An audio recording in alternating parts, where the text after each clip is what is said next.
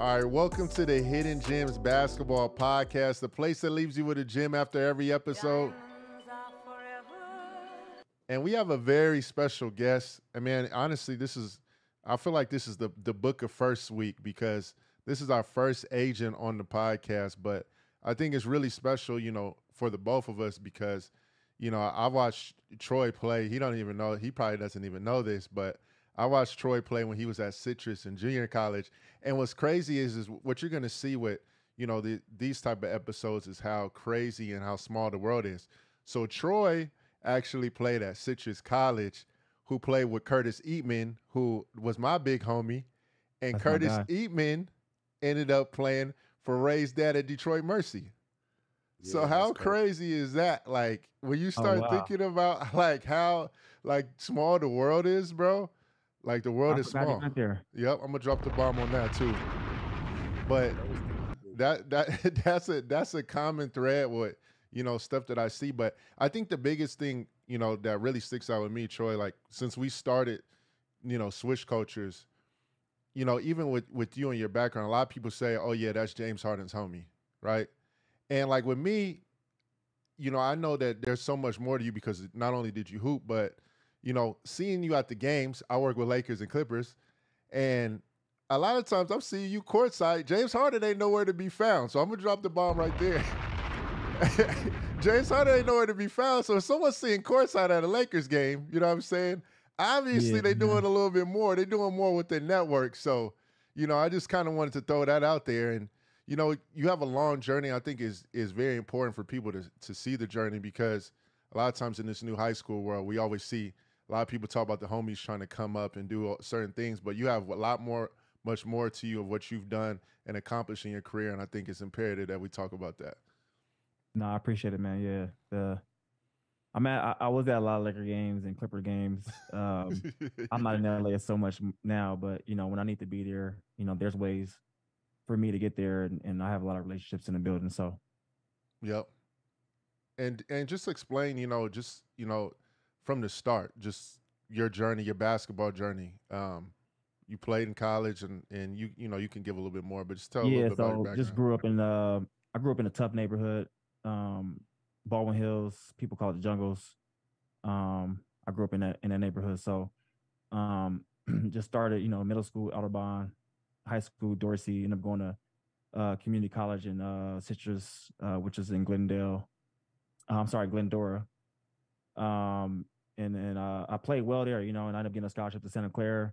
Uh, played at Santa Clara for a couple years. Um, finished with you know defensive player of the year. I think we won a CIT that year. Um, playing under coach Kerry Keating. Um, and then I ended up just uh, you know trying to figure it out. You know, the summer was a grind. There was a lockout that year. Uh, I never got a chance to, to to do summer league, so you know I, got in the NBA G League, up getting drafted. I was the last pick, number sixty. Uh, I was ha- happy as hell. You know, I had opportunity. I'm like, I'm on a Lakers G League team. Cool. I'm at home. I'm thinking I'm about to be at the Staples Center, and uh, you know, we going through training camp, and and um, you know, lockout ends, and you know, they I start hearing names like Jamal Tinsley's coming, and Mario, uh, Jamario Moon, and Gerald Green, and you know, next you know, Eric Musselman pulled me to the side and was like, "Hey, appreciate your service, man. It's your last day." You know, so I was I was hit with a real like life moment where I had to figure it out. And uh, you know, thankful that I made great relationships. Um, you know, while I was in college and played the right way. Um, you know, Randy Bennett, the St. Mary's coach, along with uh Rick Croy, kind of pushed me for a position with the Cleveland Cavaliers. Mm. Um, and I had no job. So I just told my agent, you know, my agent told me, like, hey, I don't know if I'm gonna be able to get you a job. You didn't score a lot of points in college. So I don't know what I'm able to get for you. So I just say, you know, I'm gonna bet on me and I'm gonna take this job and just just go for it, you know. And I ended up going to Cleveland uh, as a video intern and I did a little play development when I was there. So I'll let I'll let Ray ask you about the player development, but why, you know, you see a lot a lot of this, especially when we got a lot of basketball homies. Why did you yep. just stop? A lot of the homies would have been like, "Hey, man, I'm switching agents. Yo, I'm still playing, like pursuing my dream." What made you just say, "You know what? I'm gonna stop so early. What made you do that? And I had a tough, tough upbringing. So my mom passed when I was five. Oh wow. And um, I ended up going to foster care. My dad, you know, a lot of parents back in the '80s were, you know, strung out on drugs and stuff like that. I don't know what the situation was at the time. My father couldn't provide for me, so my brother and I were were in uh we got sent to foster care. You know, mm-hmm. when I was five years old. Um, and I'm appreciative as hell for my foster mom, uh, Gwen Douglas, and she, you know, she put me in basketball, and I always tell her to this day, like, thank you for putting me in camp, because, you know, that was my first time really like, you know, going to camp, hanging out with kids, and like this is something I actually like, you know. So I, I kind of grew, it kind of grew on me. Um, but, you know, my life has been tough. You know, it wasn't an easy upbringing. You know, grew up in a, a lower income uh, housing, just growing up in the jungles um, and I didn't have a lot, you know. So basketball was my way out, um, and I just kind of took things in strides, you know. So like, you know, I was in went through went went through school and then you know made friends and here and there, and it's just like the opportunity came. I didn't have a lot um, after I graduated school. You know, I, they weren't throwing jobs out like that. I still kind of want to play ball. I have friends that play ball, and, and, you know they, you know, you see their lifestyle and you see the things that they have, and they get to travel and stuff like that. I, I wanted that too, you know, and I just say, you know what, let me just shoot this shot. You know, I'm gonna go to Cleveland for a little bit. I'm just gonna stay in shape, work out. You never, you never know what's gonna happen. You know, I'm still young. I think I was 22 at the time, and they offered me a job. You know, I, I, I took a Skype call. I couldn't they, I couldn't see anybody on the screen. I put a button up shirt on, I had some shorts on. You know, 45 minutes later, you know, we, we got the call, and I got a call from the Cavs a couple days later, like, "Hey, you ready to leave?" You know, two days later, I, they shipped my car and put me in an apartment or in a hotel for a month and you know and i was there for the next 10 months you know working my ass off. So i just kind of take opportunities as they come um and that's just how i've been all my life. You know i'm not scared of opportunity i'm not scared of the moment and if it presents itself the and the door opens i'm gonna step through it. Yeah i mean that's that's a crazy switch like being 22 just getting out of college you in the g right? You think you're going to you know be playing with the lakers in a couple months. I'm looking at 10 days i'm like 25 counting my chips yeah, and then it's like your life takes a whole turn, and then now you're getting thrown into a whole different ro- role. Before you working in the front office side, basketball side with the team. Mm-hmm. When you made that jump, obviously you know you're appreciative of the opportunity. Like you said, you you needed it at the time, but yep. going there, you're still a hooper. Like, are you thinking like? I'm thinking I might get a chance right? So and it's not and it's Jay, it's not like he's pulling up to go play for the Canton Charge in the G in the D League at the time. Like you're going to work in the front office, you're going to go work for the team. So like in your mind, you still think you're going to get a chance. So how was that once you get to Cleveland? And now it's like you're in a I wouldn't necessarily say corporate world, but it's more of a business world than just it's crazy because I didn't know how to like I didn't know how to fit in. Yeah. And and what I mean by that is like so there was a uh, one of my friends, Mike Thompson, Klay Thompson's brother. He played at oh. Pepperdine. He was killing in the G League. Um, so that whole time I was I got cut and I was working my way my transition into um, Cleveland. He was five games, twenty a game, right? So he got a he got an opportunity to get an Exhibit Ten when the lockout ended, right? And um, you know, I'm in the hotel. He's in the hotel. I'm driving him to practice every day. And I'm just like, man, I just got defense player of the year. Same conference, you know. And I know Mike, you know, Mike's good. He can shoot six seven. He's athletic. And that's when I started learning that it's a business, you know, and they just kind of, you know, take what they need at the time. Mm-hmm. And Mike came into camp with confidence and uh, he won that spot, you know. So, you know, kudos to Mike. But I was taking him to practice every day and picking him up and hanging out with him the whole time and working out. I'm just like, felt like I was one of the guys, you know, at the end of the day.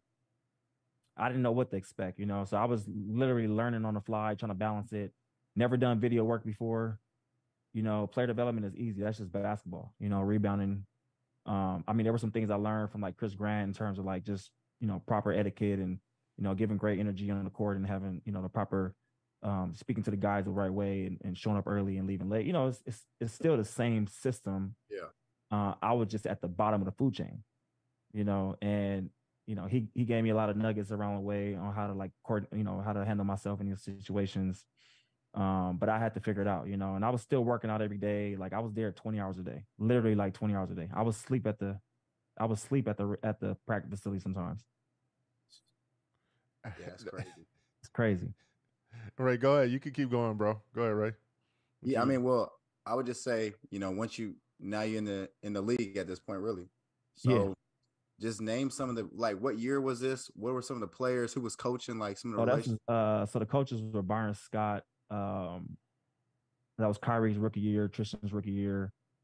Um, Alonzo Gee, Alon, uh, Antawn Jamison, Anthony Parker. Like, yeah, Alonzo Gee was my guy. You know, I rock with him heavy. We was we was getting it in every day. Like Lou Harangody, Omri Caspi was cool. I still talk with him now. Christian Eyenga, uh, Samardo Samuels, coaches, and it's some of the coaches that's still in the league now. Um, that I still, you know, connect with on a day to day, like uh, Jamahl Mosley, who's a, who's a head coach in Orlando, or Nate Tibbs is one of his assistants. Um, you know, Byron Scott, I see him every now and then and stuff like that. So it's it's it's been good, man. Like a lot of those relationships I still have today. Ramon Sessions, I think he's an agent now, so I see him sometimes. Yep. Um, it was just crazy though, just seeing like you know even like Kyrie was they pick. You know, I was number one. I'm on the team with the number one pick. Yeah. You know, and I'm in practice, just watching practices every day, which is crazy. Like just even Kyrie now to see where he's at and, and how much he's gotten better in his talent. But that kid is the same kid 10 years ago, you know, yeah. 12 years ago. He was going crazy in practice. Yeah, so you probably seen some stuff that he was going crazy in practice every day, you know, and I'm like, this dude is just killing these dudes, you know. And it's just like guys like that, it's like a generational talent, you know. So it was it was good to see. I just thought it was normal. I'm like, this is NBA. Okay, okay, I see this level. It's pretty good, you know. And, and Kyrie came in at 18, 19 years old, and he was just he was just really good, you know. And, and you could see his talent, the way he finished the ball. He shot the ball good, and and um his paralysis on the court was just incredible. When was a moment when you were like, "Yo, Kyrie's a little bit different than the rest"? you know, like, there's definitely a moment that you think that you could think of where and I wish like... I could practice it. I wish I could get the films from back back then. just he's just they we only won like 16, 18, maybe 19 games that year. But in practice, nobody can guard him. Literally no one. Eh. No one could check him. They everyone knew what it was. They like, this kid's good. You know, he just kind of just and I would tell him like, man, just go for 40. Like, you know, he's he's trying to figure it out too. He's a rookie. You know, he don't know nothing. He played eight games in college he ain't played basketball literally in about two years, and he gets on his team. He got, you know, Antawn Jamison on the team, and Anderson Varejao, and you know, Ramon Session, Anthony Parker. Like these guys has been in the league for for for a decade, over a decade now, and you know, he's just trying to find ways to get them the ball and, and, and fit in. You know, and it's it's a hard role, especially when your team is losing. LeBron had just left, the city is down, um, and he's just trying to give them something to cheer about and and and and be proud. So he was trying to figure it out, I think, a lot. Um, you know, and I didn't stay with Cleveland after that year, so I didn't. I don't know what like you know his mentor was, but you know when I was there, I was like, man, go you know go go get a bucket. Like you you can get thirty a game easy. I know that, you know. And he's like, man, I gotta you know I gotta move the ball around. I gotta run the team and stuff like that. So he was literally trying to figure it out um that year, you know. So he figured it out quick. Yeah, yeah. I, it's crazy because we we hung out a lot. So like we would hang out, you know, he would, we would go out and stuff like that sometimes. Um, and he'll be he'll beat me to the gym. You know, I don't know how, but he will beat me to the gym. He'll be there before everybody. I'm just like, this dude is different. You know, so that's when I was like, okay, okay, I see what's going on. You know, this this he really wants it. This kid is really good, and he's showing up. You know, and I think you know people that go to college, you get that kind of pedigree because a lot of times in college, it's 18, you know, 19, 20 year olds. You know, we go out at night and we get up in the morning at 6 a.m. go to practice. So it was no different for him. Uh, he, you know, stay up late uh, some nights and um, you know have a good time and still get up in the morning and go to work. You know, and that's when I noticed I was. That's when I learned I was like, okay, this is a job, and that's when it starts becoming a business more than basketball. You know, I started learning that that aspect of it, and, and I've seen it now over the last 10, 12 years working in the NBA with guys. That that's just part of it. You got to build a, you know, if you're gonna go out, you got to get up and, and, do your job the next day. You know, some guys can do it, and some guys can. He, Kyrie was definitely one of the ones that could. Yeah, sure. Mm, yeah, and before we move on to you know from Cleveland, um, it's just kind of crazy. Like now you're talking about how your relationships grow, and you never know who is going to turn into what. Like never later know, on I'm into so, the business. I'm so appreciative that I took that job, man. Like, like it's crazy because like Chris Grant, I think he's like uh he was I think he's doing some with Atlanta Hawks right now. You got you know Wes Wilcox GM he was the GM at the, he was the GM for the G League at the time. And and then when I got there, he was like, Yeah, I know you was six six. If you was if I know you was six six, I'd have drafted you. I'm just like that goes to show how much like people don't know what they're doing. And not like that, but it, it goes to show like you really got to get in front of someone. You got to. To really take a chance on them because like video isn't always it. Yep. You know, and I and I kind of thought about that. Just me going into this agency process now, having clients, like the the player being seen is is so important. I mean, literally the first day I got there, he's like, "Oh, you six six. I didn't know you was six six. I, I would have drafted you." You know, so it's just like, and I that could have been an opportunity for me, you know, to have an actual real opportunity in the G League in Canton to play, you know, and I never got that. So, you know, but this is it's crazy. Like Jamahl Mosley's head coach, Nate Tibbs works under him. Uh, you got guys like um, uh, David Griffin, who's in New Orleans now. Jordi Fernandez, I think he's in Sacramento. He was in Denver. I think he's up for a head coaching job next. Um, it's just crazy how I go there and I, and and and now I'm here and I'm in this agency space. Mike Gansey, he's the GM for the for the Cavs. Um, David David Lewin, my roommate, my actual roommate, uh, he's in Boston now. He's from Boston. He's the assistant GM for the Boston Celtics. So like a lot of these relationships now, I'm just like picking and choosing now. You know, who to hit up, and, and it, it, just makes it a lot easier for me in my profession now. Um, that I actually took that route, that gamble that I didn't know was going to have you know any effect on what I'm doing today. You know, but 12 years later, 10, 11 years later, I still have those relationships to uh, to lean on. So I'm just you know appreciative of my journey and and uh, taking that job in Cleveland because I could have turned it down. You know, it was twenty six thousand dollars a year. It wasn't a lot of money. I couldn't really afford anything.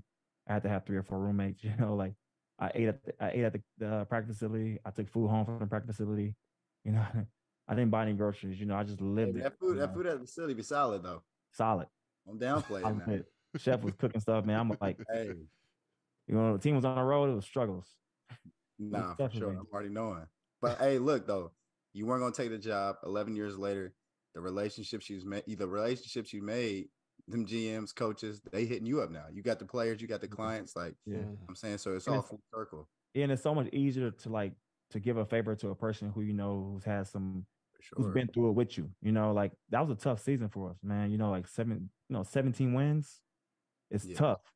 And I and I was grinding, man. Like those video room jobs is tough. You know, like you got to watch. They they used to have us watch five games, the, the, the previous five games before we play a team. We got to scout every game. Yeah. You know, and like the NBA that year was about four games a week, and like now it's about three point two. You know, like roughly three games a week. Back then it was four. So if it's four games, that's twenty games I got to watch that week. Yeah. Where I'm scouting for a game that we got to play. You know, so it's like it's a grind. Yeah, sometimes I leave at three in the morning, you know, and I get there at seven, you know. And some days I wouldn't even go in at all. I'll just work from home because I'm just so like tired and, and worn out. But on a minimum, I was spending 17 hours a day. Hey, Jordan don't know. 3 a.m. in that snow. Yeah, because it's like shoveling, okay. shoveling snow off the car. Man, I Every played in Finland. Stop the talk. I've been in snow too, boy. What you mean? Hey, no, but I, I mean, it just it just kind of dope because you know, just even now, like being with you know Lakers and Clippers, I see a lot of guys in player development, and yeah. then the next year they're gone, and then they just went into a whole different mm-hmm. career. They're like, I'm done with basketball, and then yeah. some people stay in the player development role and don't really move up. Like it's a, it's a grind. Like yeah. like Jamahl Mosley, I knew he was gonna get a head job. I'm like, this guy got it. Like he was hungry, he was ambitious, he was loud, he was vocal with the players. They responded to him, and I always like, that's my dog right there. You know what I'm saying? So when yeah. I see him I'm watching him in the cut, like I got to get like that. I got to be more vocal. I got to be more attentive. I got to, I got to have that energy and and kind of give that paralysis. Like that's got to be me, you know. And if I saw it coming then, and he, he just got a job what three years ago with Orlando or two years Orlando, so you could see it in guys like that. It's the same thing with Kyrie. You know, you saw it. I'm like, okay, yeah, he gonna be one of the ones. This coach, yeah, he gonna be one of the ones just because I just know his how hard he works, you know, at his job. So, you know, kudos to him. So how did all right? So after you you did the year in Cleveland, where did you end up going? Did you do Adidas right next, or like how did what was your situation and oh, how did May, all that transpire? Yeah, so the season ended around May, April. I think my last day um was probably like around May, like early May or end of May. You know, we just kind of I just went my own way. I just like, hey, you know, Jamahl was like, hey man, if you if you still got the itch, scratch it you know, and I'm like, he kept saying that, you know, he's like, you got the itch scratching. And I think the reason why I had the itch was because they would have guys that come in um, and they would have me play against them. And they would like, it'll be a, a one hour, they're like, yo, get ready. You know, you got to work on an hour. I'm like, am I am I the talent, you know, or am I, you know, the punching bag, you know, or like, do I have a, a room for both, you know? So I take it serious, you know. They was bringing guys in, I was like, I'm about to lock them up. I'm about to lock their ass up. I'm about to th- have them think about me for for ten day. You know what I'm saying? Since they just giving them out. Damn. Seriously, it was like shut down Kyrie, shut down this, per- shut down Tristan, shut down that person, and then bring in a couple guys. And they brought in DJ Kennedy. He was DJ Kennedy was nice, but Yeah, they brought in DJ Kennedy. Kennedy. I think they had me play against him. They, they was like, yeah, go pick him up from Pittsburgh and play against. him. I'm like, I can't do that. Like, you know, so they was. I think they sent like Mike Gansey, who's there now, the GM, to pick him up, whatever, and he brought him back, whatever. And I had to play against him for like an hour, and it was just all the coaches and GMs in the front office and the owners watching me. It's like, t- and I'm just an intern, you know. So that right there was just like it kind of like set my bar, right? So just going through that, and, and you know, Jamahl's like, if you got the itch, go scratch it, you know. So after that season, I ended up uh, signing a job to go play in uh, Australia. Ah, it makes sense. Wait, hold on, Yeah. hold up. Before we go to the Australia, you're not just about to just say I locked up Kyrie and think we ain't about to respond to that. What? Oh, I didn't like, I didn't like him, Kyrie. I- I- hold on, hold on.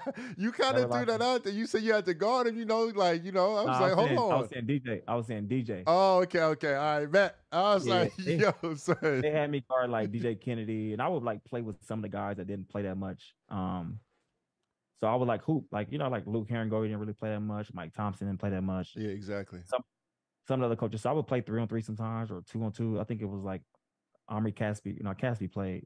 Some other guys that played there that didn't really get a lot of playing time. So I would play three on three sometimes, or you know, and and I was doing fine. So I'm like, okay, I think I could play still.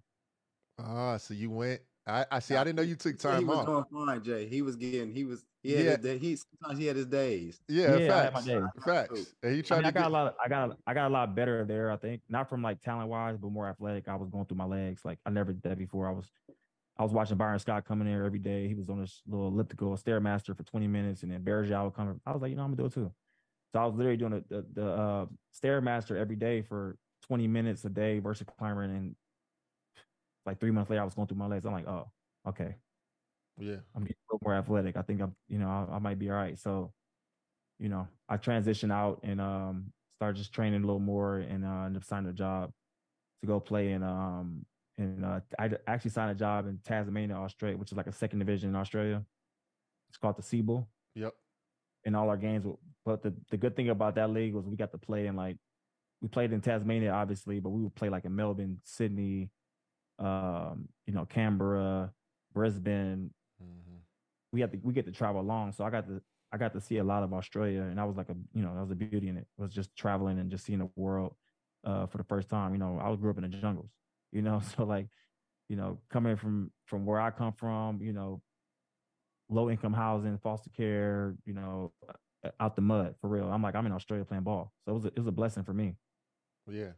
Nah, yeah, and I mean it's kind of dope that you said that in the D two because I wasn't really familiar with D two and and you know New Zealand especially, but they're like it's it's like the NBL where they play you know amongst each other because a lot of people don't realize that. So in the NBL you have the New Zealand Breakers and then they play against Sydney Kings, Melbourne, Yeah, yeah. all So the the- teams that you The- but the about. Breakers though, so the Breakers are a part of the Australian NBL. exactly. Yep. I played I played in, in New Zealand as well. So the following season, I, pl- I signed to a, um, a team in New Zealand, um, which is the it's the NBL. It's a bigger, it's a better division, um, but it's the NBA. It's that's a great jumping board, like springboard to go to another team. It just my experience when I was in New Zealand just wasn't great, so I kind of was just over it, you know, as as a whole.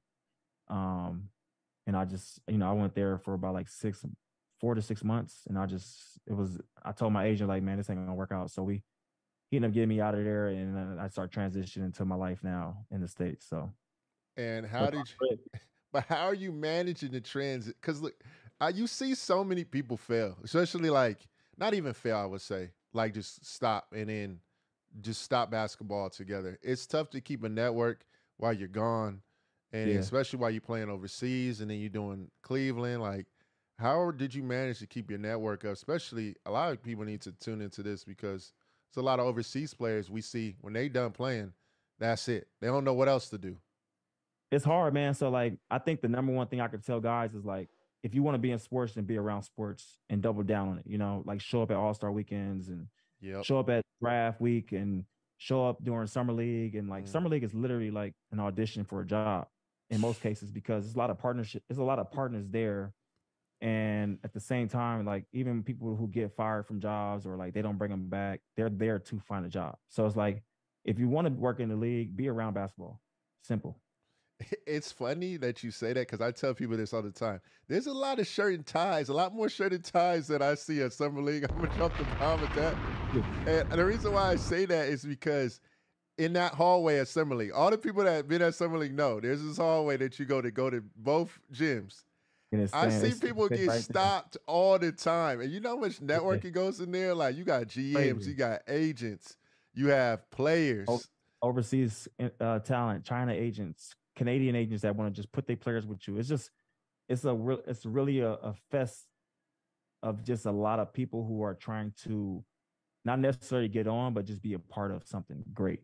You know, even if they could be a small piece of it, you know, they just want to be a part of it and they trying to better their lives, which they should, you know, and, and uh, I never had to do that, thank God. But, you know, as I've been working um, in this space for about 10 years now, I've learned that that's the most important thing to do is just be available, be present when you're at these games, you know, make sure people know who you are, make sure you're walking around. If you're going to go to a basketball game and you want to be, um, and you want to be visible, make sure you get a credential, make sure you get down to the court, make sure you get there two hours early, make sure you say hi to, you know, both teams. If someone's sitting on the court, look at their tag and see what their name is, start a conversation, you know, um, and be vulnerable. You know, it's hard. You know, Yeah. a lot of people don't like being vulnerable, and that's the biggest thing. It's like vulnerability is real, and the most vulnerable person wins. But what if you don't? Like I, I, I kind of I have my own answer to it, but I want to ask both of y'all. What if you don't have that? You know that you know the pass to go down to the floor. I tell people like at summer league, you really don't need the pass to get down to the floor. Honestly, a lot of the networking happens in that middle In the hallway. hallway. You In the hallway. son, like you can make that trip, but there's a way to do it. Like, how do you guys feel like is the way to like make those introductions and make those you know those relationships? Do you got to give someone the whole recipe and the whole like bio, or do you just kind of just you know first time you see him, like quick handshake, hey, I do this X Y Z? What do you guys feel like is the way to make that networking? You want to go, Ray? Let go. Let T go first. Um, Yeah, T, you on the other side of the spectrum now, bruh. So you can you can tell us the, the sauce. So so now you see the other other way now because you a big dog now. I think um I mean obviously doing your homework, you know, before you Mhm. get there is, is important to just know who people are because some people don't walk around with their tags on, so you wouldn't even know. Mm. Um and then it's just like, you know, be be be welcoming, be friendly, give a compliment and start a conversation. Mm. And and take it from there, you know, and and make sure you have the right um, you know, the conversation shouldn't be too long. Two minutes and and keep it moving, you know, and just make sure you follow up on your on, on your um make sure you follow with the people you meet with and just show a, a sense of urgency in terms of like you actually caring and wanting to be uh, in relationship with that person because it matters you know like people people meet me all the time and it's like i'll give them my contact and they don't reach out you know and i forget who they are you know they may hit me up a couple months later but it's just like be intentional you know in what you're doing while you're there Yeah, and then I could say, you know, I was just there uh what a week ago. And just from a player's perspective, like, you know, I ain't been in the league in six years. I've been overseas the last six years of my life. Really, my everything's been in Europe. So ever since I haven't been in the league, I really haven't come around. I haven't really, you know, I, I see people in LA, I see people around and this what up, hey, here, and there. But when I went out there this time, it was a little bit more different. I was like, you know, I just kind of got to show my face because my years are playing. I only got a couple more years left, right? So if I'm going to transition into something in basketball, it's like I'm forgotten, really. You know what I'm saying? Like, yeah, they know who I am and stuff, but no one's thinking about Ray McCallum over playing in Italy or playing in France. So for me, it was just more so just be around, just kind of be around, show my face, go up to my old coaches, go up to old teammates now. I got teammates that are doing TV, teammates that are agents now, teammates that are working for teams or whatever the case might be mm. and just kind of network and show my face again, letting people know where I'm at, what I'm doing, and that I would have interest in something in basketball when I'm done, and and just kind of keep that relationship going. And and uh, for me, it was kind of eye opening. Like, oh, people had a lot of respect for me. I felt like people still remembered me. Like I came out of there feeling more positive than you know years before. Like nah, I'm not really trying to go around those people. Like I ain't in the league, so they ain't gonna really rock with me. But you enjoying I, it right now? Yeah, you know. Yeah, that's dope. Though. That's what's up, man. Yeah, so it was it was good that I went and did that for sure. But like you said, you just gotta be vulnerable and just it ain't gotta be no long conversation. Just go say what up, show your face, and then you know keep it. Yeah, I, I, think even for you, like I don't know what your plan is when you transition out, but you know when you do get ready to transition out, it's like those last two years, you know, you're gonna do your those gonna be your last two years. You need to start prepping for it. So it's like, mm. okay, I need to get the summer league, and I'm I'm about to be here for for 12 days, mm. and every day that week, you're gonna be letting people know like, hey, next year's my last year. I want to I want to roll right into a role, you know, and, and that's and and the good thing about you actually going there now and actually seeing that and being able to be uh cognitive of like what you're actually seeing and doing is you can be intentional. Yeah. You can be intentional and you can start setting up your your post career on what however you want. You see these, these numbers that the coaches are getting now. So if that's something that's that's you know important to you or something that you want to get into, you can easily flow into that. You got a basketball background, you played a long time um, you played the game the right way and you're a good person. So it's like, you know, stuff like this, even the, the podcast and stuff like that that you're doing is just great. You know, it's just going to help you out so much more. So even even right now, you may not even see it now, but yeah, I can feel it. No, I, I know what you finish playing, man, and them opportunities come. Just just make a decision. You know, yeah, for sure. Yep.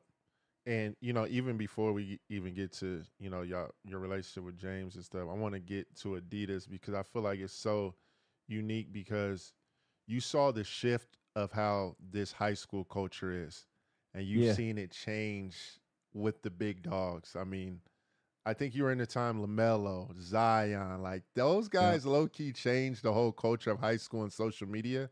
And it's crazy because they from, you know, the IE. Well, yeah. LaMelo is from the IE, but you know, and Demo, that's that's family. But he went like, to Citrus too.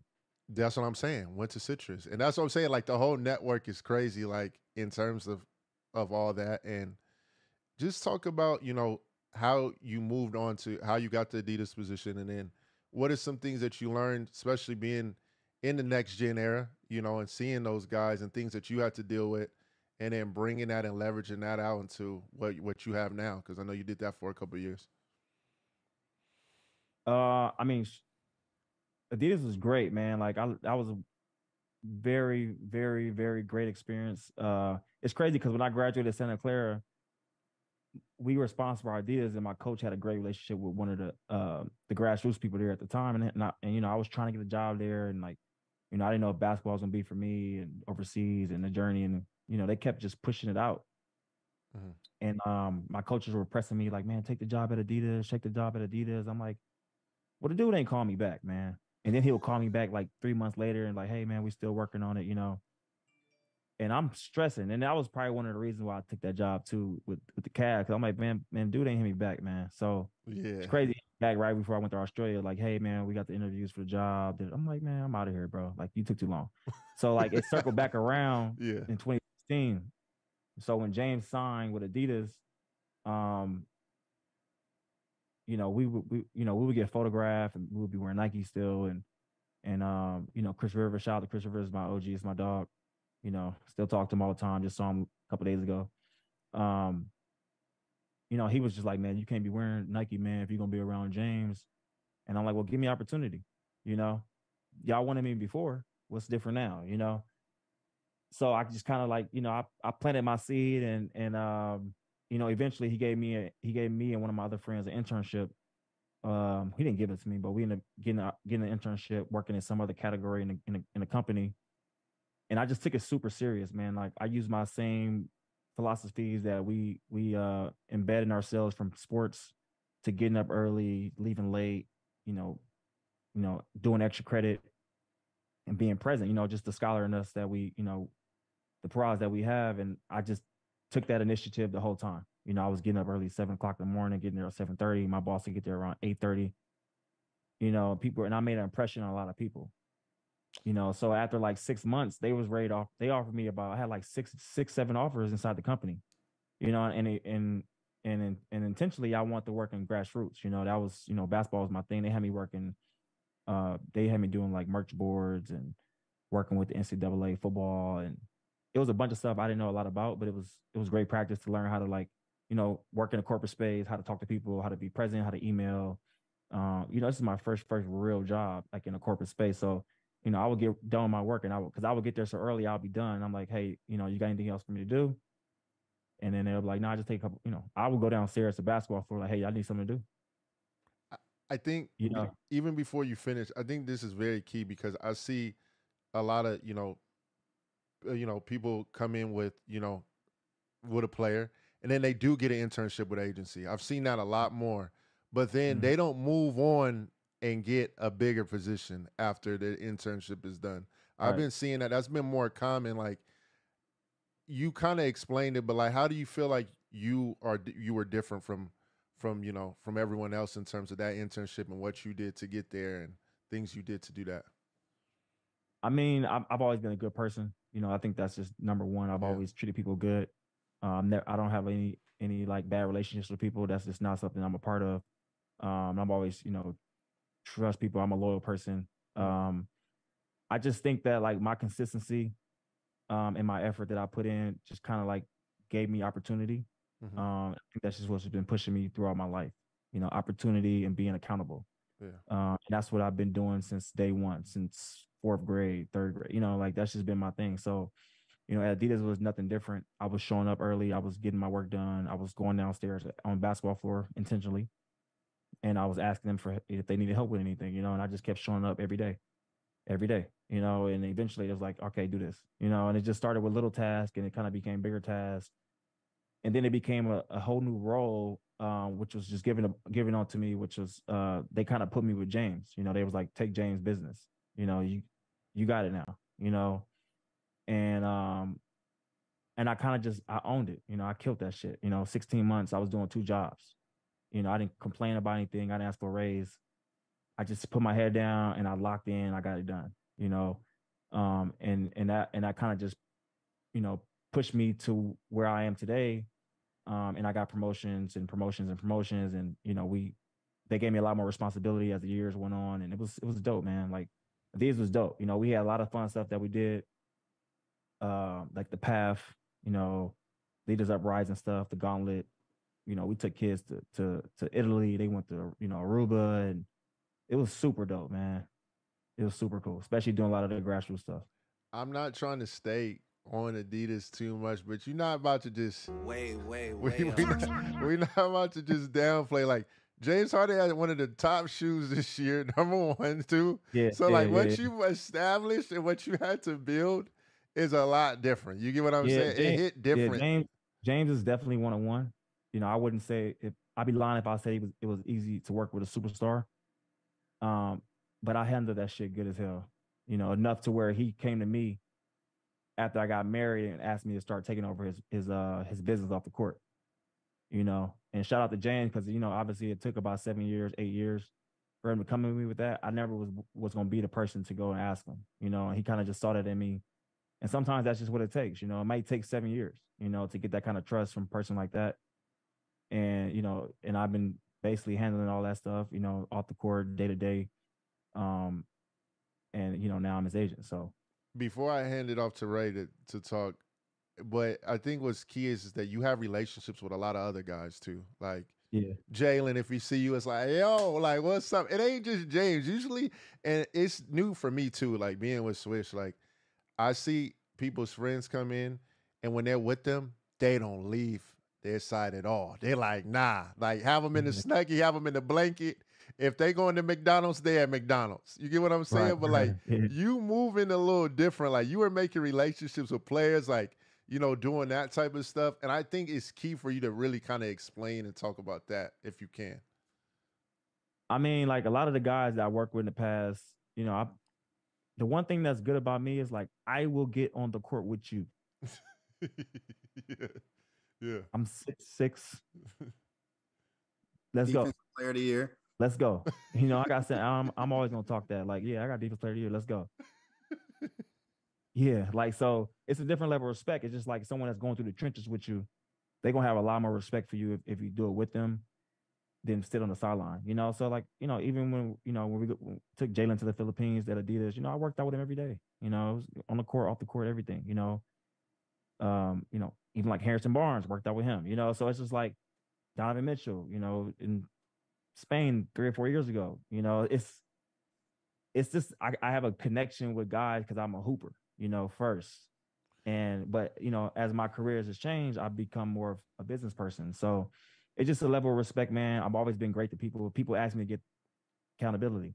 People ask me to do things. These guys that connect with me and, and that that rock with me, um, you know, I'm going to Trae Young's wedding this Saturday, Sunday, you know. So it's like that's just all from just being solid.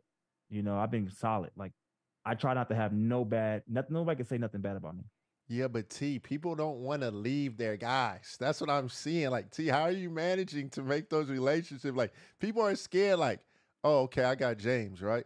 If I go yeah. to Trey Young, then you know that might ruin my relationship with James. He might think I'm over here trying to like, but like, like, that, man. It's, he's it's not organic. like that. But I'm saying I'm just talking like I'm using that as an example more so. I'm saying like people now that I see are scared to even talk to someone else. They just go everywhere with them.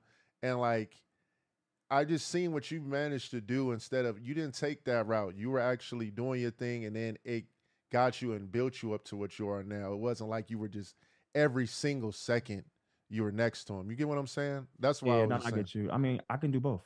I can make sure my client's good and I can go make sure my other client's good mm-hmm. and my other one and my other one and that one and this one and that one. And everybody's gonna be good. It's just like my phone rings all the time. My wife's like, yo, these late night phone calls gotta stop. I'm like, okay. you know, I'm the first phone it ring, the first ring, I'm picking it up, you know, in the middle of my sleep. So it's like I'm just wired different. Um, and I'm appreciative that I'm like that. You know, it's just been my grind for years, man. And like, you know, whenever I retire one day, I'm gonna be appreciative because I'm just, I'm probably gonna be bored. I'm gonna have to find something else to do. But I'm a busy person, man. I like to stay busy. Um, I treat my guys well who I work with always. Um, and that's just been my thing, man. Like they call me, I answer. They ask for something, I get it done. You know, it, and I'm a push for them all the time. You know, so it's just that's just who I am. It's always been who I was, always been who I am, always gonna be who I am. So, right, go ahead, bro. That's, that's why I got those relationships. Then it, and then it's just like you know, you see him out, you see him here, you see him there. Yeah, everyone's like, man, TP that guy, man. Nah, they don't be like that. Nah, no, they do. But I mean, what's crazy about you explain everything is like, I don't know what you majored in college, but every person I ever talked to is like super successful in their business, whatever they do. It's like, I don't know if he went to school for this. You you couldn't have probably mapped out this plan. You thought you nah, were gonna hoop nah. and it just happens, right? Nah, it just happened. It happened organically, man. It just like like I said, going to Cleveland for that year, you know, that was it was a grind, man. 17 hours a day. Yeah. You know, staring at a film for seven of them on a court for five, you know. So it's like you go through different trials and errors in your life, and and each each step is an is is just information you're just storing and, and using later. You know, you never know. So it's just like, you know, I'm cool with Tristan and Kyrie and Alonzo Gee I just saw in Vegas, and you know, I saw Anthony Parker and these people that I'm cool with. It's just like I've known them for so long, and they've probably seen me and seen stuff on on the internet or you know follow me on social and kind of like you know saw my life and and um and appreciate how I live. And you know, I'm a super open person. I'm very open in my life. Um, I'm not super public like that, but w- what you see is what I am. You know, so. And and I think what Jordan's kind of trying to say. Yeah. So I'm gonna piggyback off a little bit. It's like, and hopefully you can give some advice to some of these young players and some of these current guys playing. Like, I think what he's saying is these guys don't leave these players' hips. So yeah, no. Like, it's fear. Yeah, like James is your boy, right? Y'all knowing each other forever, right? So you see a lot of guys coming in. Okay, maybe you don't know James is gonna be James Harden as he is today. You didn't know this 13 years ago or whatever the case might be. But like now with these top guys, they want to bring their homies on. Their homies are with them 24-7. The homies want the the the top players trying to get the homie a, a job at the mm-hmm. agency or a job at the shoe company. Like you chose a different route where yeah. like you were looking out for yourself and it wasn't like okay, James, let me get this. James, let me get that. Like, how can you t- like what can you say to like so for me so help these me, players, you know, go your own path? So for me, like my path was always my path, right? I I never went to OKC game in OKC when he was there. Mm. Damn. And he's probably like, yo, T, like pull up, bro. I, like I went to a game again. Well, obviously I've been to games when he played for OKC, but I've never been. I've never been to OKC. I never went to OKC when he was playing there, so I never got a chance to actually see him play for OKC. One because I was in college. Two because I took a job as um at in the G League. Three I took a I took an internship. Four I was gone overseas. Yeah. Right. So I was focused on myself. And I was stupid. Like I should have been like James. Once he took that job to the Rockets, I should like, yo, give me a assembly job. That's what I should have did. And that's what I would tell guys now. Like if you're in a position and you got a guy like James where the players run the NBA, ask that player, like, hey, yo, give me a job on the summer league, even if it's two years in a row. Like, I rather I should have done that before I even hung up the, you know, hung it up. Cause it's like I was a prime player for the for what the league is looking for. Someone that's athletic that can defend and, and run the floor really hard and and maybe have some good mechanics, right? And it, although I couldn't shoot the ball great out of college, I, I, developed a jump shot as the time as I went overseas. I you know I made I think I made like 75 threes my first year out out, and I didn't shoot none in college at all. So it's like my progression. I had so much room to grow, you know. Mm-hmm. And if I would have took a chance and was like, "Yo, bro, I need this, bro. I need I need a summer league job. Like, just get me on the team. I'll be fine."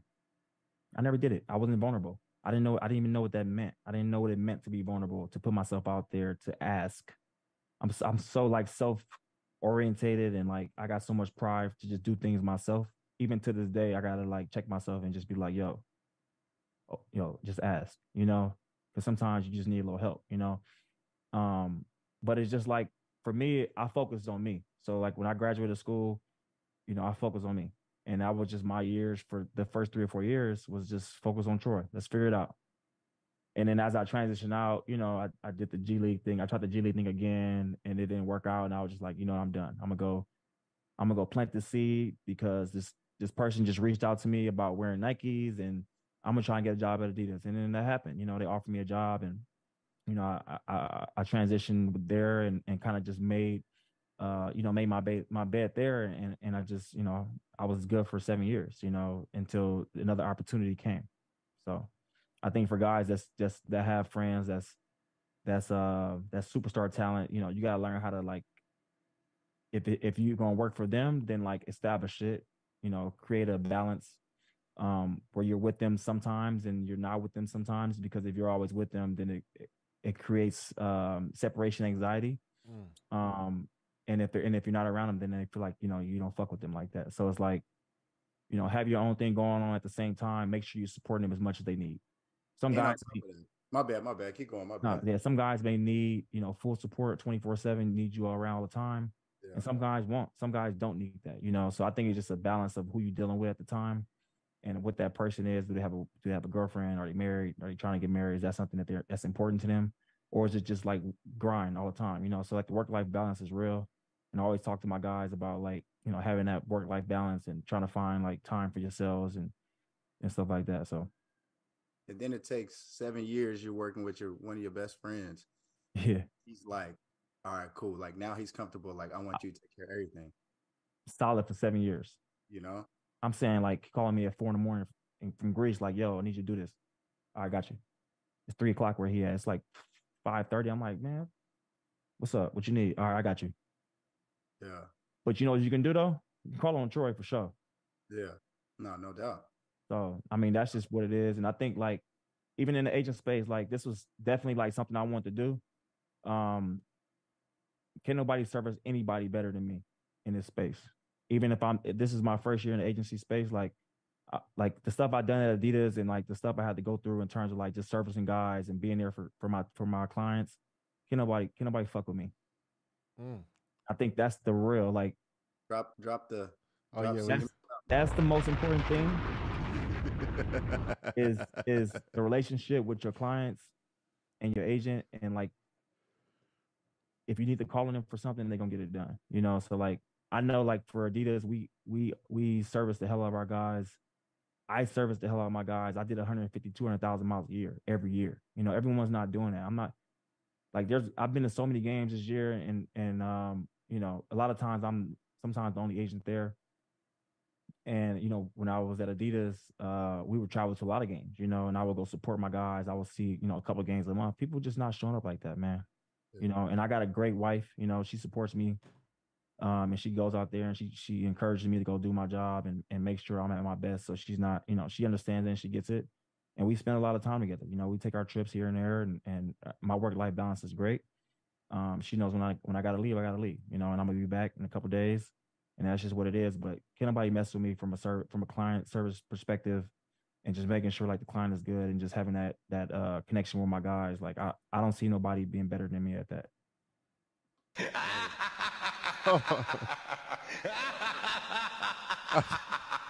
I, I gotta put the thriller laugh because, hey, bro, I would have thought that you don't have James. Like, you got this crazy hunger to you. Like, that's what's crazy, bro. Like, uh, you got a crazy hunger to you. Like, it just like, it just, it, and I think it's fire because this is why I see why you succeed in the way you do. Because now that you're in the agency field, I just see a new passion, a new hunger from you. You know, and and I, and I've seen that, you know, with you know even Antoine Davis. We did some stuff you know with him, and yeah. you know just things that you saw, and that's kind of new. That's how I knew like the basketball background was real for you because it's stuff that you were explaining to me. You know, you didn't come in there just you know talking to Antoine Davis in in a light where people are like, well, that doesn't translate to the NBA. The mo- the first thing that you told me was just like his shooting percentage, like you know, and different elements to where it translates to the next level. And I mm-hmm. think that you got a unique skill set to you that's a lot different than most. Um, talk about how you did transition to equity basketball. You know, you got Mike Silverman over there, Brandon Greer. You know, that's, that's the Detroit guys over there, over there with uh, Ray. You know, Ray got he got that Detroit blue on, so that's how you know he got his Detroit ties. But just yeah. talk a little bit about that too, bro. Ah, so I, I know Mike for a long time, man. We've always talked about or like you know flirted with the idea of working together. Mm, okay. Um, and as I was transitioning out, you know, just working on James's business and kind of managing his partners um, in his day to day life, you know, I, I, owe him, the, you know, the first due respect to like, hey, man, I, am about to, uh, I think I'm about to leave Adidas, man. It's just, I think it's time to go. Um, you know, how do you feel about me, you know, going to agency? Because you know, guys, agencies are reaching out, you know, and I want to make sure I give everybody like the time of day um to make a decision, you know. So he kind of like threw some ideas out there and um you know, one of them was, you know, working with Mike and and kind of going through that. And, you know, Mike and James went to Arizona State together, mm. you know, when James was a freshman. So they had a long history together. Mike has always been someone that's been supportive of James and watched James and always wanted to work with James. And um, Mike's always been somebody that I've always, you know, connected with. Um, I didn't really know Brandon too much, uh, but Brandon's super cool. You know, I got to know him over the last few months, over the last year actually. But you know, it, it just seemed like the right move. You know, this is something that we all kind of agreed on. Um, you know, I wasn't even trying to rep James, to be honest. Wasn't even trying to do it, you know, and it was something he wanted more, you know, not like that, but you know, it was something that he wanted, you know, and I and you know, when he wanted it, I was like, well shit, let's go. You know, hell yeah, I want it. you know, but it wasn't something I was like, hey, I need you, bro. I need you. I need you. Like, let me, you know, sign with me. Sign. With, it wasn't nothing like that. I wanted to be organic and it was organic. You know, like you know, I, I do all this business, I manage all his affairs. Uh, you know, if I were to go to some ag- other agency, you know, they were gonna make sure, like, hey, well, you know, James is on our books too. You know, so you know, I gave him the autonomy to to uh, help me make the decision, and uh, you know, equity was was was the best move. So. Right, go ahead. You know a little bit more about that. I mean, you know, I know the agency joint, but you know, hey, you tapped in too. Go ahead, Ray. I, I saw the yeah, eyes shout light out up. To, shout out to Mike though, man. That's Detroit Country Day. Yeah, Mike, cool man. He he a good dude, yeah. man. He good dude. You know what he's doing. He, he he's passionate as hell. This dude will, will, you know, to get a client, you know, he'll go go to war. So he goes to war for his guy. He's always been a great person. So. Yeah, I mean, for me, more than anything, just what I like is how your journey's been. It's like, like I was just saying before, you just see a lot of the homies riding with the with with the big dog, like yeah, for this and that. Yours is, is unique because it's like more so he's like, hey, I need you. I want you to do this. I want you to do that. And you got your stuff going on, but you know, you're sacrificing some of your things to to help. Right, right. I think I think what I tell guys, like even right now, right? So I'm in I'm in I live in Phoenix and James is here for the summer. I'm like, just come on for the summer, bro. I work out with you every day. You know, so like I'm gonna get up in the morning tomorrow at 7 a.m. We, you know, he he's been doing two a days um the last three weeks. And like James has a crazy hunger in him right now. Like if he got an MVP this season, I wouldn't be surprised. That's what kind of hunger he got in him right now, just from the disrespect.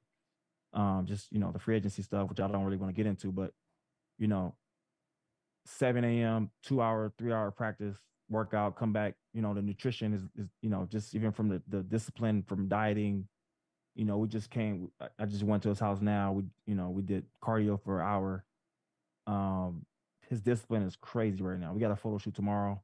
You know, we're gonna get up in the morning and work out at seven to ten, and then you know, photo shoot from eleven to two, and then he gonna, you know, he's gonna play ball tomorrow at five. So it's like his discipline right now is is is impeccable. I'm happy that he's starting now. You know, we got a you know we got a whole month of August, whole month of September to get this thing going and and, and get him in the best shape um, of his of his career. I think we can get there this summer, and I expect him to have a, a, a big season this year. So, hey Jay, ain't no other agent in the world out here working out with that client like that. Let alone maybe they go to the gym do the cardio, but ain't no one get on the court hooping. Yeah, I'm gonna guard him. I'm gonna guard him. I'm gonna get in his face. I'm gonna talk some shit. All that. You know, and then I'm gonna come home. I'm gonna answer emails, and and try and make some money on the side for him, and then I'm gonna go back and work out again. Uh, man, that's man, that's fire. I mean, and just talking about James, just real quick, because first off, his creativity, he single handedly has changed the game. I'm gonna drop the bomb because yeah. people need to understand side steps so did look, not exist for a long time. Please tell me about the side step, please. Oh, so we were at we were at Arizona State about 2023, probably 2019. I don't know when it started. I think it was 2019. It was either 19 or 18. And he was like, this dude is crazy smart, bro. Like crazy. And I fight him on it, and I'm like, damn, he right. You know, so like we're at Arizona State, right? And he's like, yo, you think this is travel? He took a dribble and did a jump stop. I mean, he did. He took a dribble and then step back. I'm like, hell yeah, that should travel. They gonna call travel. It's, it's it don't look clean, you know. And then he did, he did a jump stop. Think about that, right? So mm-hmm. him dropping the ball and then stepping back, I called it travel. And then he did a jump stop. And I was like, oh, it's the same thing. It's just the jump stop is going forward. Yeah. And you dropping and stepping back. Oh, so it's he he countered you with it. He countered you with it when when you said it was a travel. He did a neg- another move, and then you didn't say nothing. he was like, oh, "Okay, so then what's the what, what, about this thing? What's this thing?" I'm like, "Oh, okay." They call him. We call him Jay Lawyer. You know, he's he's an arguer. So like, I'm like, "Oh, you got a point there." And then after that, it was like, let's just work on that. So that's how he, that's where it came from. But, Arizona State. And I don't mean to cut you off. Like we always talk about Steph Curry, but bro, the side step is used just as much as the three ball. And yeah. James really made that change that. And that's what's so crazy. And like, is that how it started? Like at the ASU that, joint? That's where it started at Arizona State. He was showing us a move he dropped the ball and stepped back. And I was like, nah, I don't know about that. Then he did a jump stop. And I was like, okay, why are you showing me jump stop? He said, what's the difference? I'm like, I have to like do the move. Like I have to do the jump stop. And I was like, and then okay. okay, yeah. I was like, okay, that's yeah, you, you can get away with that. Okay, then we we we got to keep going. Then, uh, then we got to get to the the the dancing, bro. He basically is like, there was one time in Houston, bro every time he would go out and work out, I would make sure I'm there at 4 p.m. I'm like, I. I don't care if he the first one there. I'm in. I'm watching the workout, bro. This dude doing spin moves, side steps, moves I've never seen. He was like, yeah. like it was like he was dancing out there. I don't even know how to explain it, but I am like, how do you like, even think like, about how to how to even do that, bro. I just trying to figure out where that came that from. Was the progress, that was the progression from the jump. That was the progression from the st- from the step back. You know, after he got it down that first year, he's like, okay, now I'm about to get a little freaky with it, a little saucy, do a little salsa dance, and he and he just danced with it. You know, like and it just becomes a rhythm thing. It's just like KD doing a spin move to a jump shot. You know, he just trying to find a rhythm that's gonna get him ready for the game. You know, and you know even like the one-legged step backs, you know, stuff like that. Just like finding ways to like be more creative. It's like he's so crazy, like mentally. You know, he got to challenge himself like that to just be like happy, you know, excited. Like, let me just find something new to do. It's like he's he's so good that he gets bored with the basic basics. Yeah, just Crazy. create his just his creative creativity's out this world. Yeah, He's making stuff yeah. up and just putting it to light. Yeah. And it just, they're Mhm. changing the game. It, I mean, it's- it's, it's so much stuff, even from like getting fouled and you know, like even putting the ball out those years. Like his hands are so strong and his shoulders are so strong. Like the dude is the dude is like a brick, you know, in most cases. And Yeah, people in the NBA played against him understand it. They like, yeah, James is tough, physical as hell, and he gonna find a way to get a bucket because he's gonna use his brains, and then he's gonna use his game, you know. But just his brains every year, you know, the last eight years, he's been adding things differently. Um, you know, the NBA has been doing a good job of of um, I guess changing the rule, adding rules and things to um affect how he's scoring, I guess. Um so if you got the NBA doing things to change, you know, some things that you that you introduced, then you're doing a good thing. but So even the last introduction, and that's the rhythm dribble, that transformed to a triple threat to me.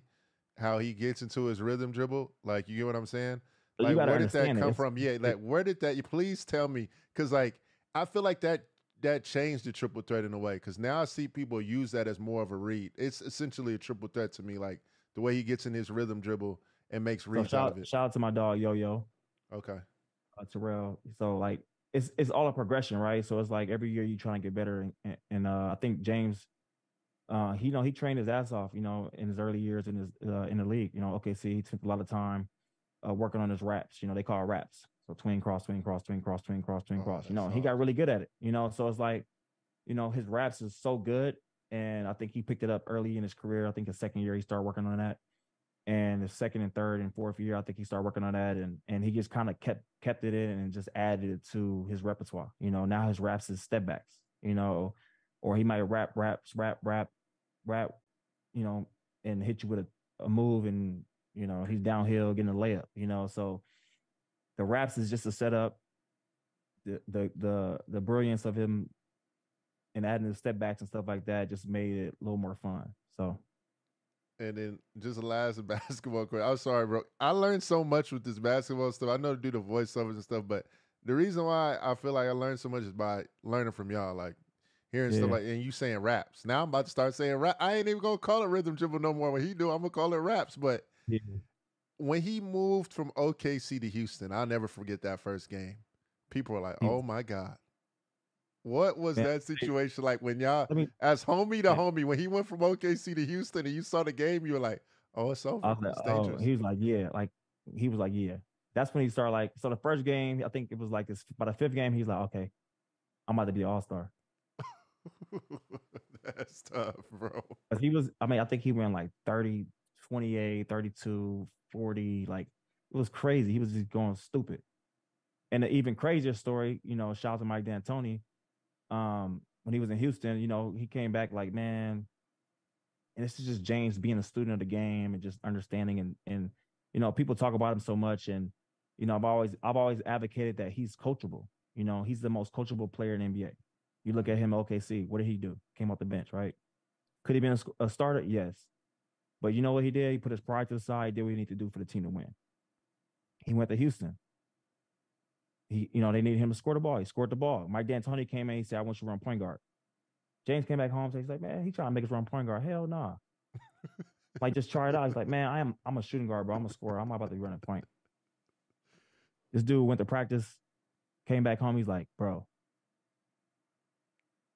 I'm about to average eight, nine assists." You know. And I'm like, and then he's, I was like, yeah, all right. He went to practice the next day. The next day, he's like, yo, this shit about to work. You know, so shout out to shout out to Mike D'Antoni. He put the ball in James' hand, and the rest is history. You know, and that's just being coachable. You know, he didn't even want to do it. You know, but you know, the coach asked him to play that spot, and it started shaping the person and the player who he's who he is now, who he's become. And obviously, the game the game kind of changed along the along the uh, the way. You know, and the three point shot becoming more prevalent, and that just fits in right with my, Mike D'Antoni's system. You know, and uh, he took advantage of it. You know, and having great great years at scoring. Um, and then James gets traded to you know to Brooklyn, and you know he took another role, and the same thing in Philly. So just him being adaptable and, uh, able to be coachable, like it's something that no one looks at, you know. Um, and they just kind of like touch on like the things that don't matter, you know. they don't say he don't play defense, but he's top 10 in steals every year. You know, there's people look at those stats. So it's like, you know, where you where are you what are you looking at? You know, I, you just looking at stuff that people say, or is it are you actually diving into this person who's very coachable, very team oriented? Like he's for he's he's for team, you know. And if you look at it from that perspective, where James was like, okay, six man, he took a took a role. Okay, you know, he uh, OKC didn't pay him. Houston did, so he went there. You know, did a couple years. Mike D'Antoni comes in, wants to run point guard. He's like, nah. Then he's like, okay, this is gonna work. It worked. You know, he gets to Brooklyn. You know, he's like, be the facilitator here. You know, get these guys involved. It, you know, it worked. You know, a couple games. They're just games away. You know, one one game away, both teams. So it's like, go to go here to Philly. You know, run this offense. Doc wants him to do this, be this player, and you know, he does that. You know, and, and my me, I'm like, no, selfishly, yeah. Yeah. Oh, go be James Harden. You know, go be go be that dog. Don't lose that fire, you know. And um, you know, he's always been a coachable person. So that's just who he is as a person. He's always gonna play to win and play the right way. So Man, that's fire. Yeah, like you said, uh, the the best that we've seen are adaptable. I mean, I see it with LeBron all season. Just him Yeah. being able to adapt. The greats adapt, and uh, Greats that's been- adapt. Yep. that's what they do. Just a few more questions, Ray. What you got? You got something? No, I just want to say, man, I hope hopefully y'all got a documentary going, man, because y'all. I story pray y'all just- do. I pray y'all Yeah, do. we got we got so much content, man. We gonna put it out. Yeah, got to, because y'all story is, because like Jay and I mean, people know like that's y'all y'all is super close, whatever, but you don't know the, you know, since y'all was kids, and then how your path, his path, everybody, the whole gang, like, yeah, this is this is tough for sure. And, yeah. And Even bef- this, even this, la- even this last season is a tough season for him. You know, just on the court, off the court, a lot of stuff going on. Um, but he doesn't let anybody, you know, see any of that stuff or, you know. But this is gonna be a big summer for us, man. We just trying to make sure he's in his best shape as he can be, and and uh, you know, obviously him getting traded out of his hands. Um, it's, it's nothing he can really do. You know, it's on us, um, Mike and uh, Brandon and I, just to make sure working with the organizations to make sure we get this this done uh, on a timely matter. And at the end of the day, he just needs to make sure he's ready to play. Um, and until then, you know, we're just gonna just wait. You know, so I like it. Nah, and you know, even just before I let you go, I think one thing that even off of Ray just saying it, it kind of just brought it to my head. Like you, Zoe, like the whole group. When I started thinking about it, all you guys are making an impact, and like there's only a couple people circles that are doing that, you know. And I see that, like you, Zoe, like, and I probably sure there's more that I'm not I'm not mentioning, but y'all Mhm. circle and I, I see y'all going to spots and how people embrace y'all and every player like pretty much rocks with y'all like Yeah. it's rare it's not it's not really common I, it's, i'm just gonna we show love, man. Like, I think the one thing that like we all solid. You know, we always gonna be accountable, available. We're never gonna be like big time anything. And it's it's even like Ja Morant situation. Like I, I'm reaching out to John, like, yo, let me help that kid, man. Like I want, like, if you need somebody to talk to, let me talk to him. Let me help him. You know, Yeah. so like, there's guys in the league now that I worked with in the past, and and I've always oh, had an open door policy. Like, call me if you need something. Always. So like, and that's just how we are. Like myself, Zoe, like Junie, like the, my my guys, Greg. Like, we've always been like that. You know, so it's always been open door policy. And uh, you know, Zoe's doing some great stuff. You know, working you know a lot with Travis right now at the time, but you know, and he got some stuff that he's working on. So I'm you know excited. I can't share it, but you know he'll share it uh, eventually. But you know he's he's figuring it out. We're both figuring it out, and and just you know growing together. So yeah yeah nah yeah you're you're you're killing it um where do you see you know with you i'll give you these last two for me is just where do you see equity basketball going with with Troy Payne? Where you see Troy Payne going with this equity basketball? Because I know a lot want- of people are, are trying to figure that out. Like, what's Troy's next move? Where do you see Troy doing with equity basketball?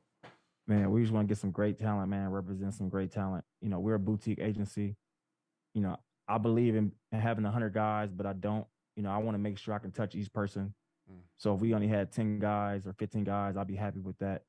Um, you know, Troy Payne's growth, you know, as it comes and opportunities come, you know, I can't say what that is. You know, if it's a GM role, you know, and if it came my way, and if you know some years to come, then yeah, if the, if the opportunity makes sense, then I'll take it. But I can't say what's gonna happen right now, man. I don't know. Yeah. I take it one day at a time, man, one lesson at a time, and uh, and I just appreciate it for every every opportunity I get. Yep. And then last up for me is what players do you guys have from equity basketball that you feel like, you know, are on the rise and some guys that we should look out for in terms of that for just the people that don't know? Uh, I think Ryan Rollins get a he has a great opportunity this year. We like him. Wizards. You see, I asked JP. I asked Yeah. JP about him. He got game. Yeah, so yeah, I saw that. I saw that. He's um he didn't really get opportunity last year. He had a, he had a little uh, surgery, minor surgery setback. Um, and then at the same time, he's played in Golden State, you know, in this, this Hall of Fame talent, all you know, on that court for the next few years. So Mm. there wasn't a lot of time for him, even with them signing uh, Jordan. Um, or Jordan got traded now, but you know, even with Jordan there as a backup, you know, it just wasn't a lot of time for for Ryan. So I'm happy that he's in Washington now. Uh, you know, it's a great coaching down there, and he's gonna have a great opportunity. So I'm looking forward to seeing what he can do. And then, you know, obviously Antoine and, and Miles. I think Miles got a good opportunity in Atlanta, um, playing alongside Trae. So I'm gonna see Trae this weekend. I'm gonna make sure he's talking to my guy and make sure he give him the ball. yeah, facts. With with Antoine, how has it been for you just even learning like you had a, a player that did a lot, you know, when he went to Detroit Mercy, um, should have broke, you know, Pete, Pistol Pete's record. But, Yeah. you know, came in and I, I I think what's really dope about him is just seeing that, you know, he knows even with Portland that, you know, shooting the basketball is very key. Like when went into workouts, was you know knocking down a lot of shots, showcasing that he could shoot the three ball off the catch and shoot. Because I know majority of people were concerned that oh he's too much off the bounce, like he can't Nah. just play Yeah. off the ball, you know. And how has that been for you seeing that in your first year with you know the agency?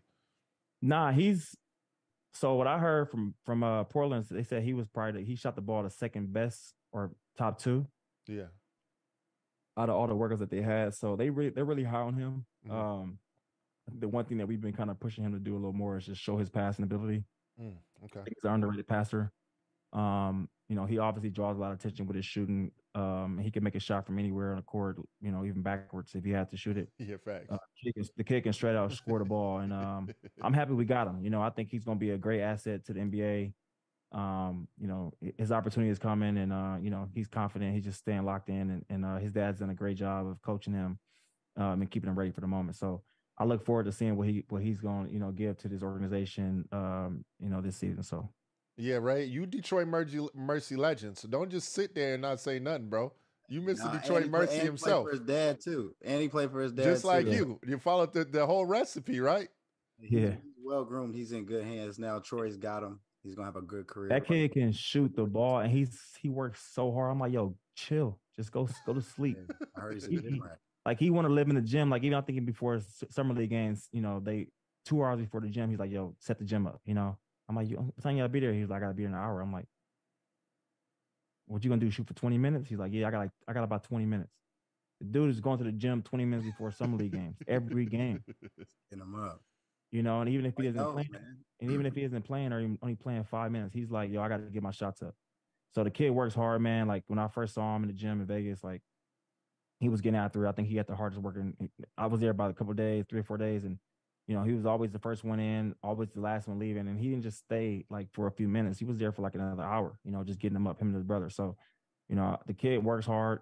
Yeah, you know, a lot of a a lot of our success and stuff like that, and it just comes from hard work, you know, and he's has that built in him. Um, so I see a lot of uh, big things in the future for him. No, Coach your son, man.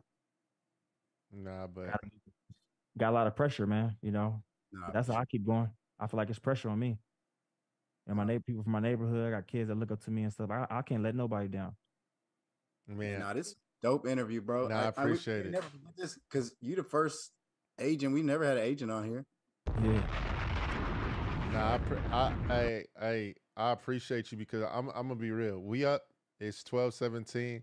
I had that dial up internet earlier, and Troy Ruin, like he let he let us do redo this interview, and he just dropped some real gems to people. Hopefully, uh, you know, y'all listen to this full interview. Y'all have to, especially if y'all want to get into the sports world. He dropped some real gems, and you know, especially for all the basketball players out there that playing that want to Mm. transfer over, it's essential for y'all to listen and build a network. And you know, like he said, that two years when you in that final couple years, start making that making plan. You got to, bruh. You don't want to Nah, come nah, out here plan, nothing. man. Yeah, no plan, no nothing. You want to add come back with the money, it's gonna start just you just gonna start being a, a, de- a debit. Just charge, charge, charge, charge, charge, man. And and you gotta you gotta start, you know, plant those seeds, man. Plant the seeds early. It's real, you know. It's a lot of opportunity out here. And, and another thing that I didn't even get to touch on was just from a perspective of like careers, right? Mm.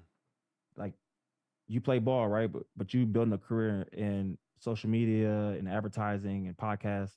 Mhm. There's so many different things that we can do as um as entrepreneurs or hustlers or Mhm. you know businessmen marketing people like i work in sports marketing and i work as an agent now but there's uh, there's other careers that you can have you know i just flew a, a hair braider i you know i just flew a hair braider out to arizona to braid james hair. You know they paying her $15 for the day. You know the barber same thing. So it's like you can have a tattoo artist you can be a dj you can be security car service. Like there's always careers inside the nba without being there. You know so like just just just just think a little deeper when you start looking into careers after you're done playing and just you know double down on it. Because there's opportunities everywhere. Jewelers.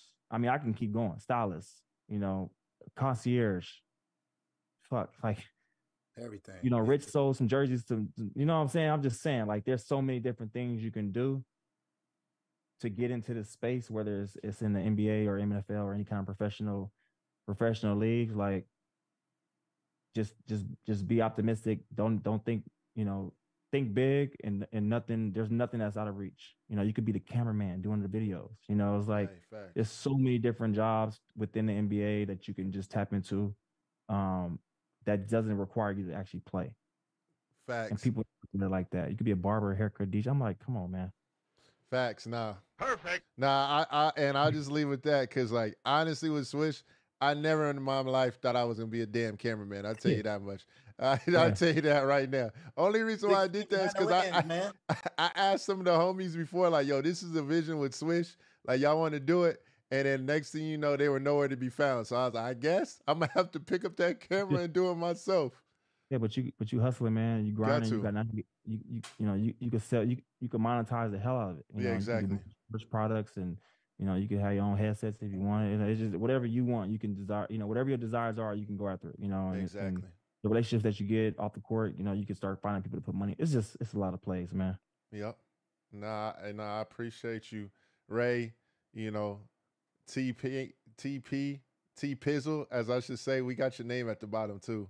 You know your IG name, but nah, it just it's just dope seeing your grind and seeing someone like us doing it, bro. I mean, it's Nah, i not too appreciate y'all for having me I appreciate you, appreciate y'all. dog. Right James, call me right now. I mean, I got to answer this quick. All right, my dog. All right, yo. I'll get Uh-huh. up with you. Appreciate you. All right.